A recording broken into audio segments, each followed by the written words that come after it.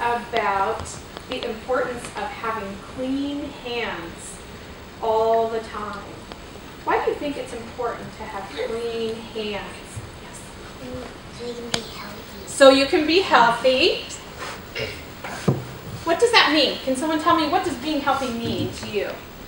What does being healthy mean? Being alive. Being alive, yeah, that's a good thing. You guys talk about being healthy a lot in school, I bet, right? Because being healthy also keeps you what? Being healthy keeps you, starts with an S. And I know it's something you guys Safe, talk about. safe. Safe, very good. Don't get sick. Wash up quick. Can you say it with me? Ready? Don't get sick.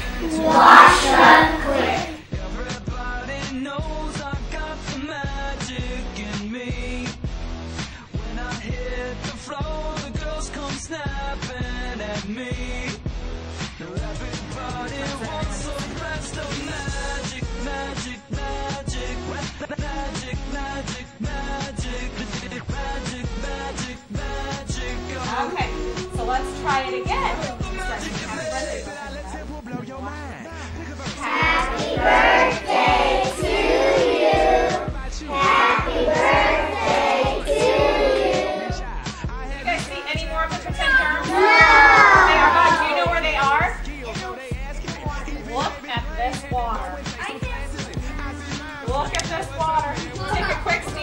And go quick back and sit on your bottom.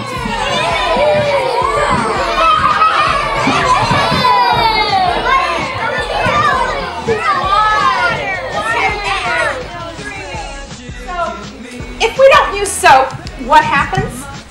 Raise your hand. Yes, what happens if we don't use soap? The germs will still be on. The germs will still be on our hands. Where is it important for those germs to go? Well, today I have a bowl, but when you're at a sink, where do those germs go?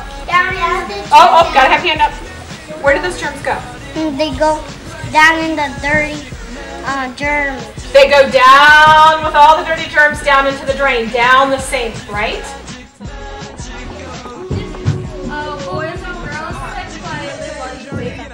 Yep. Yeah. With little ones. Oh, your thumb, your left thumb over there. Can you see how green that thumb is? In the right spot. Mm, and your right thumb too. Yes. Okay. Go wash up. Good job. Yeah.